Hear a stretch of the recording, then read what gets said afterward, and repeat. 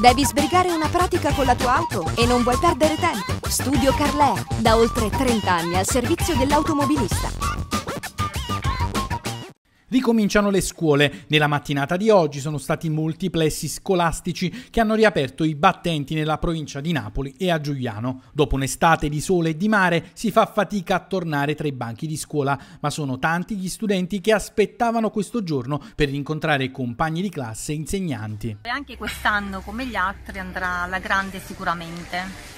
Molto bene, i ragazzi sono entusiasti, stanno preparando l'accoglienza per le classi prime. Loro devono relazionarsi in maniera positiva, relazionare con i propri compagni, con, con i docenti e soprattutto stimolarli a quella che è la curiosità e all'amore per la conoscenza. Diciamo che noi siamo arrivati, arriviamo ogni anno sempre più carichi e speriamo che questo, questa carica e questa voglia diciamo, di andare avanti e di dare sempre il meglio sia trasmessa anche agli alunni. Anche agli alunni va trasmesso questa gioia diciamo, di venire a scuola, non sentito soltanto come un, un dovere. Avete fiducia nella scuola, signora? Certo è stata facilmente palpabile aspettando con i genitori fuori scuola l'emozione delle mamme che hanno atteso fuori dai portoni i figli che hanno affrontato il primo giorno di scuola elementare. È stato bello, una bella esperienza, l'aspettavamo.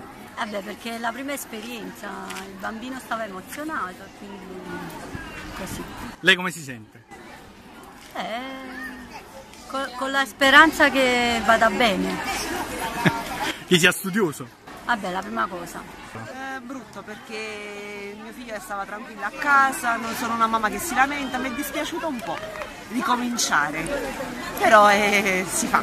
Altre mamme invece aspettavano con ansia e trepidazione questo primo giorno di scuola.